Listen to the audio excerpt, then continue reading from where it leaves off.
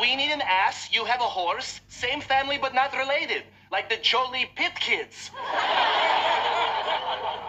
No way. Chestnut is my baby. Uh, the donkey was getting a thousand bucks. Baby's gotta work.